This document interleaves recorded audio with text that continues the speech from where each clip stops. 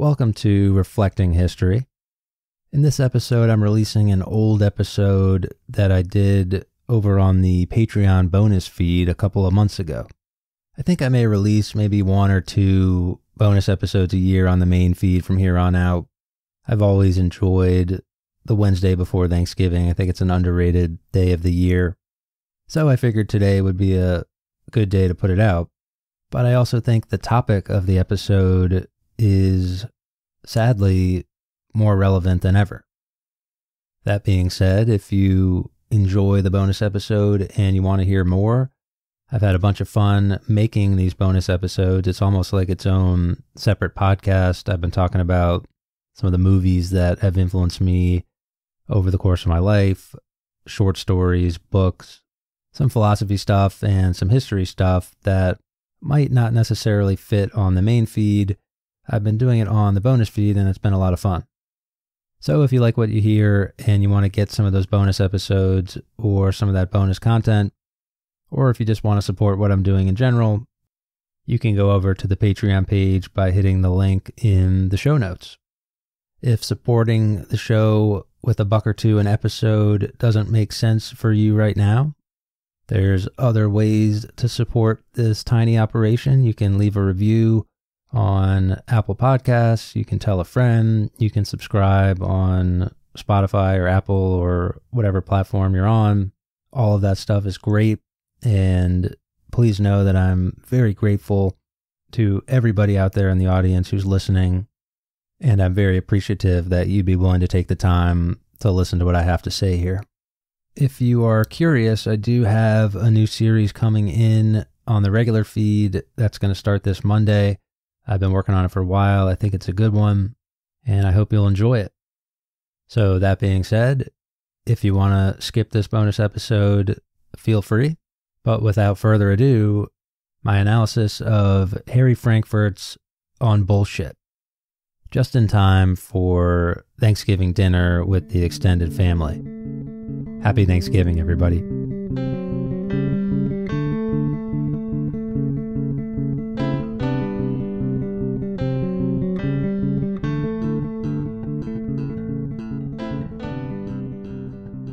Bullshit is a very difficult term to define.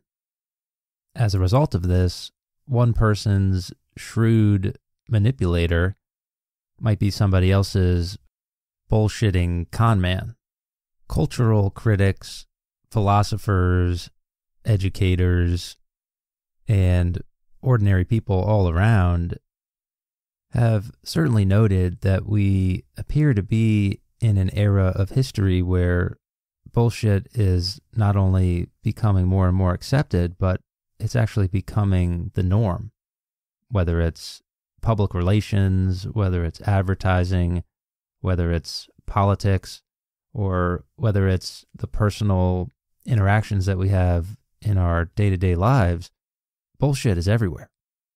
And by the way, that's a non judgmental statement in my opinion, everyone is bullshitting you in one way or another, sometimes even if they don't know they are.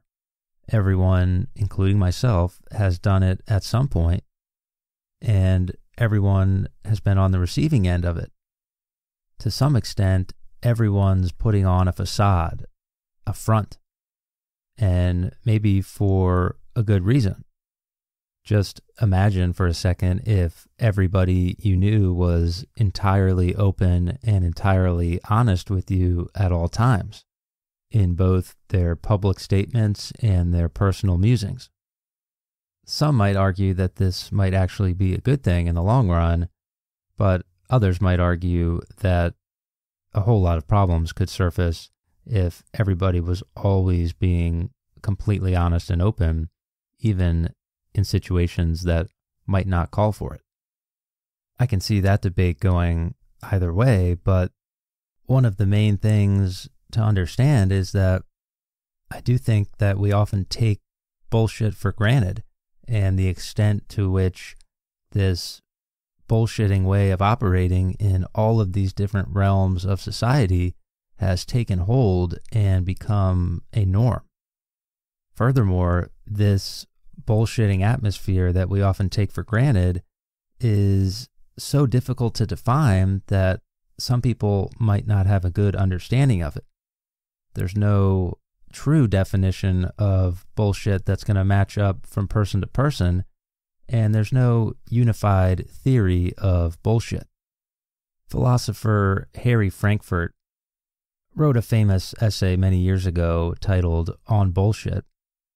I'll try to link to it in the notes. It's not too long, relatively short read, but he says, quote, one of the most salient features of our culture is that there is so much bullshit. Everyone knows this. Each of us contributes his share. But we tend to take the situation for granted. Most people are rather confident of their ability to recognize bullshit and to avoid being taken in by it. So the phenomenon has not aroused much deliberate concern or attracted much sustained inquiry. In consequence, we have no clear understanding of what bullshit is, why there is so much of it, or what function it serves. And we lack a conscientiously developed appreciation of what it means to us. End quote. That's sort of the introductory framework for Frankfurt's essay on bullshit. And he's going to go on to develop what he thinks is a good definition, why understanding this matters, and why bullshit seems to be so prevalent in modern society.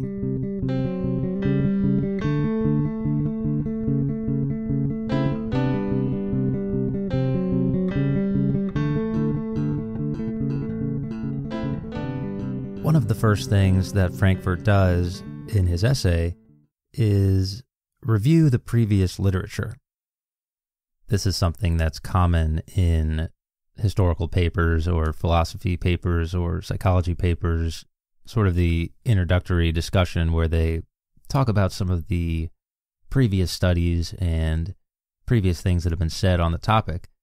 And in this case, for Frankfurt, there wasn't much on bullshit. What he did find was an essay titled The Prevalence of Humbug by a thinker named Max Black. For Frankfurt, the term humbug was sort of a synonym for bullshit. Max Black defined humbug or bullshit as, quote, deceptive misrepresentation, short of lying, especially by pretentious word or deed of somebody's own thoughts, feelings, or attitudes. End quote. So, according to Black, bullshit is misrepresenting your thoughts, feelings, or attitudes intentionally. And sort of the more pretentious you are and the louder and more bombastic you are about it, the more sort of bullshit points you score. Harry Frankfurt thinks this is a pretty good working definition to get the ball rolling, but it misses some key points. And in some ways, it asks a lot more questions than it answers. The first point Frankfurt makes about Black's definition of humbug or bullshit is this element of deceptive misrepresentation. So, according to Frankfurt, if you are deceptively misrepresenting something, then you are also deliberately misrepresenting something. This would seem to match up with our standard definition of lying, which would be sort of knowing the truth and intentionally misrepresenting it. For Frankfurt, bullshit is actually a lot more complicated than just simply lying. When thinking about bullshit, there is perhaps no greater bullshit artist than the fictional character of George Costanza. And according to George Costanza, it's not a lie if you believe it. So, as Costanza points out there, the deep question is if a person believes their lie, even though it's not true, can it still be bullshit? Or does bullshit have to be an intentional lie?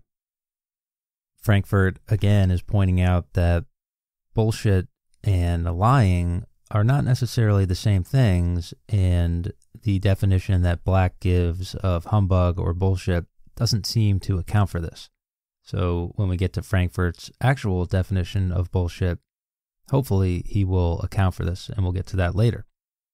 Another element of Max Black's definition of bullshit is this idea of pretentious word or deed.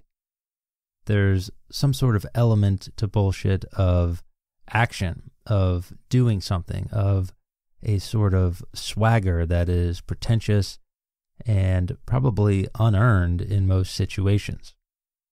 The final part of Black's definition of humbug or bullshit has to do with misrepresenting not only the facts, but also your state of mind and your attitude. There's this way when you listen to a bullshitter talk where it's not just about the facts and the content of what this person's saying, but in some ways they're also misrepresenting who they are as a person, their character, their emotions, and their overall attitude and state of mind towards the audience. Ultimately, for Frankfurt, Max Black's definition of bullshit, again, which is deceptive misrepresentation by pretentious word or deed, which misrepresents not only the facts, but your state of mind. This definition is useful for taking a preliminary look at things, but it doesn't necessarily account for all of the different types of bullshit that we see in the world. For example, there is sort of this very careless and common bullshit that we might encounter all the time. Think about the bad contractor you had who, instead of actually fixing the problem, just put up a new sheet of drywall, essentially pretending that whatever the problem was isn't really there. Think about the cheap items that you buy that are carelessly made and fall apart within a few days of use. These are certainly examples of this sort of shoddy and sketchy bullshit, but we also have the opposite of that a much more planned out and meticulous variety of bullshit. Careful bullshit, the stuff we see in advertising and PR and politics, where people are getting together and trying to figure out the best ways to bullshit you. In both of these cases, the bullshitter is trying to get away with something and trying to spin a tale of reality that might not be true, but at the end of the day, what is the connecting tissue in these two examples? For Harry Frankfurt, his definition of bullshit is the thing that sort of connects these two things together. And for him, the true essence of bullshit is not about lying or exaggerating or misrepresenting your state of mind. For Harry Frankfurt, it's simply not caring about the truth. Bullshit is just a total indifference to the way the world actually is. Frankfurt says, quote, It is just this lack of connection to a concern with truth, this indifference to how things really are, that I regard as the essence of bullshit. End quote. Frankfurt then spends some time in his essay going over different situations that we typically think of when we think of bullshit and applying his definition, which again is a total indifference to reality, not caring about the truth at all. And he applies his definition and sees if this turns out to be a good definition for bullshit or not. The first example he brings up is something we've probably all done before, he calls it a bull session, and it's probably similar to what we would call just bullshitting around, shooting the shit, getting together with your friends. There might be food involved, there might be video games involved, there might be athletics or sports involved. and essentially you're just hanging out with your buddies, saying things, having some laughs, and generally not taking the situation too seriously. We've all been in this scenario, and the purpose is to have some fun, maybe test out some feelings, test out some ideas, have some laughs. You certainly aren't expecting anyone to be recording everything meticulously and holding you to every word you say in this situation. Again, you're just bullshitting around. Frankfurt says, quote, each of the contributors to a bull session relies upon a general recognition that what he expresses or says is not to be understood as being what he means wholeheartedly or believes unequivocally to be true. The purpose of the conversation is not to communicate beliefs. This example would seem to work out for Frankfurt's definition of bullshit. Here's a scenario where people are hanging out and no one particularly cares about the actual truth of whatever they're talking about. They're just bullshitting around. Frankfurt then goes on to discuss another example, which is bullshit as quote unquote red tape, unnecessary and routine tasks that we all have to go through. Typically, this happens at work, but not always. And the reason we hate red tape so much is that filling out that useless paperwork or going through the motions that we've already been through a million times is not actually important to the real truth or the real function of whatever the goal or the mission is. It's totally irrelevant, but we have to do it anyway. Red tape becomes bullshit when it has no relationship with anything that's actually functional or useful or truthful. It's simply bullshit.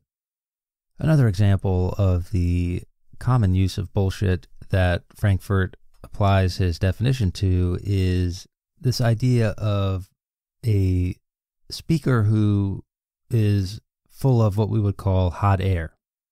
Frankfurt says, quote, when we characterize talk as hot air, we mean that what comes out of the speaker's mouth is only that.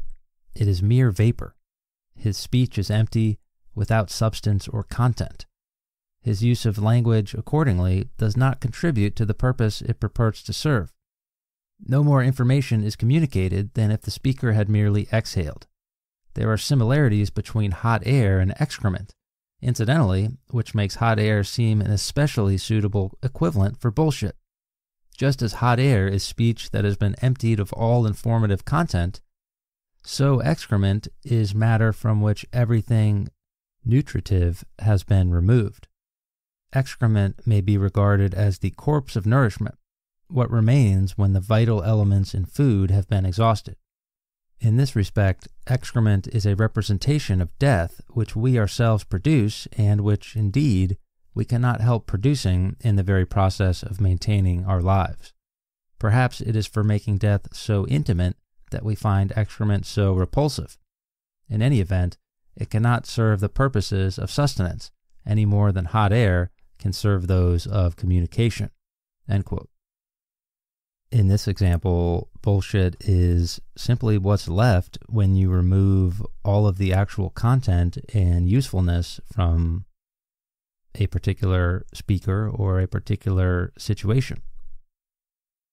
We've all heard that speaker or listened to that politician or been to that seminar or had that friend who was able to spend a whole lot of time talking with a very little amount of actual substance to extract from the long and bloviating pontifications.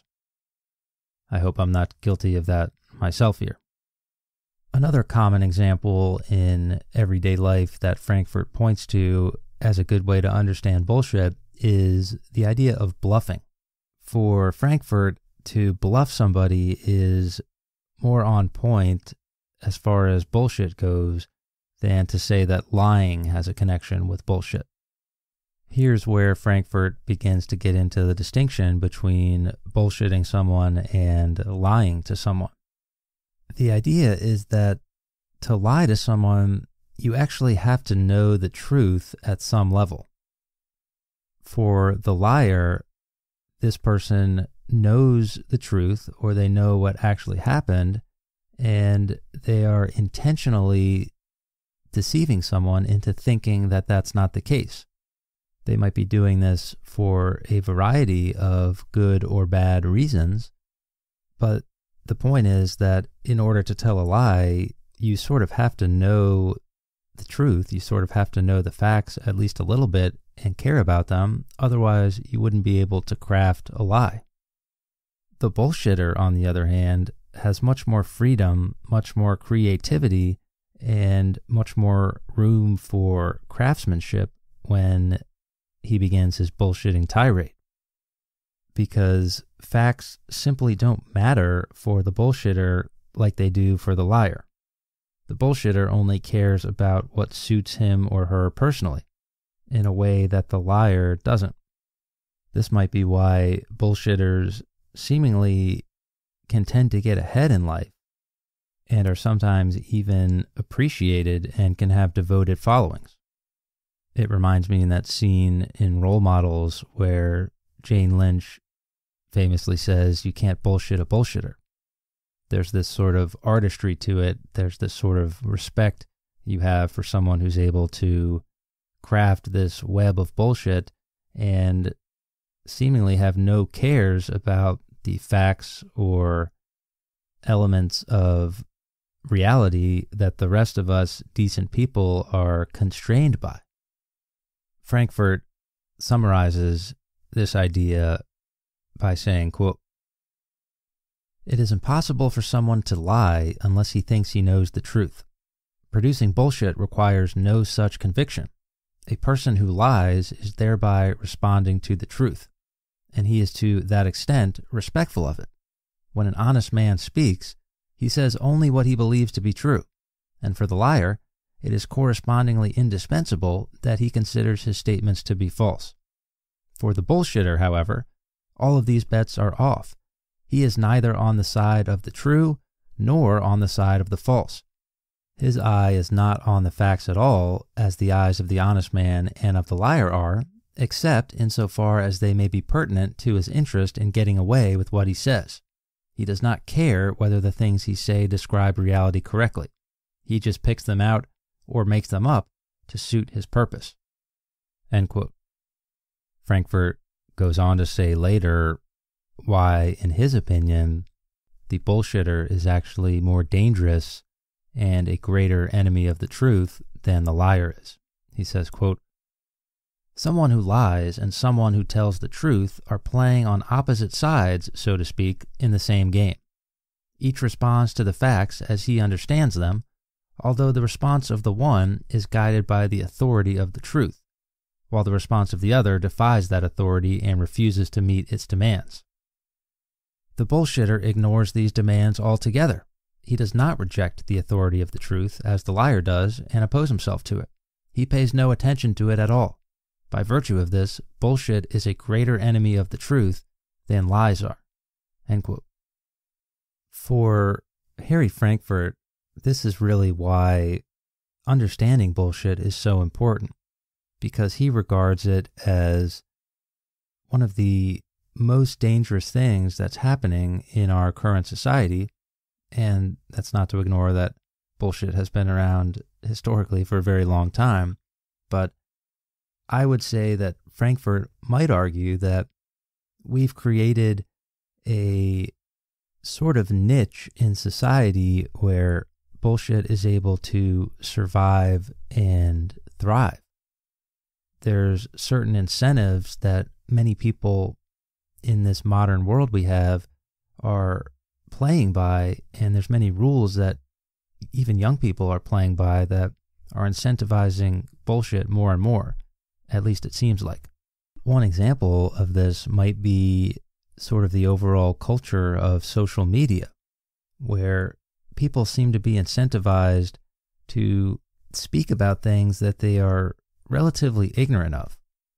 I mean, just go on your Twitter or your Facebook or, you know, your Instagram or whatever, And it won't take long to begin wondering how many of these people posting about these issues are actually relatively even close to a level of knowledge and understanding to have a firm grasp of what's really going on? Or is the incentives in this situation not to get at the truth, but rather to get likes, get retweets, get follows for the average person and for the maybe even the academic types? Is it speaking fees? Is it book deals? Is it exposure? For the politicians, is it publicity? Is it rallying the base or whatever the case may be? But Frankfurt's point is that a lot of this type of stuff is not about getting at the truth, which means we now have a ecosystem where bullshit can be thriving. Another hypothesis for why there might be so much BS in our society is in Frankfurt's view, people in a democracy are incentivized to have opinions about everything. It seems like everyone has to have opinions that fit into a box. And if you take one step outside of the box, you could be in trouble. This leads to another problem, in my opinion, which is that saying, I don't know, is often seen as weak. So you might have people offering opinions on matters that they don't know the truth of, which in Frankfurt's view would make them bullshit. But they don't want to say, I don't know, because this might seem like a weak answer. Another reason Frankfurt says that bullshit might be on the rise is seemingly there's been a rise in skepticism about objective reality at all. Frankfurt's theory of bullshit hinges on this idea of truth. For him, a bullshitter is simply someone who doesn't care about the truth. But there's actually some debate and honestly some legitimate debate about whether truth exists at all. I mean, this is a whole branch of metaphysics and philosophy and epistemology and all this stuff. And I think it's fun to have those conversations and to debate this idea of truth. But I do think it does give room for the potential nefarious bullshitter to sort of worm their way in there and jump to this fatalist bullshit approach where they can exploit those concepts to their own ends. Another example that Frankfurt points out as to why bullshit might be on the rise is the, as he puts it, the rise of sincerity to the self being more important than truth and objectivity and correctness. Again, this objectivity or truth is often, sometimes even illusory, almost always difficult or impossible to understand and attain without really devoting yourself to understanding. So it seems, according to Frankfurt, that many people jump to this idea that as long as you're being true to yourself, that's what real truth means. And in Frankfurt's view, this gives the bullshitter room to appeal to people's emotions and their fears and their inner selves rather than appealing to objective truth. Frankfurt pushes back on this idea by saying that internal truth or truth to yourself is actually at times even more difficult to understand than truths outside of yourself. I mean, think about all of the things that are going on inside your consciousness right now and all of the ways that you've changed over time as a person. How do you explain the thoughts that you have in your head? How do you explain when you have them? How do you explain why you're conscious at all? So, in some ways, these internal truths are just as susceptible to the problems of objectivity that we talked about with external truths. Frankfurt says, quote, There is nothing in theory, and certainly nothing in experience, to support the extraordinary judgment that it is the truth about himself that is the easiest for a person to know. Facts about ourselves are not particularly solid and resistant to skeptical dissolution. Our natures are, indeed, elusively insubstantial, notoriously less stable and less inherent than the natures of other things. And insofar as this is the case, sincerity itself is bullshit.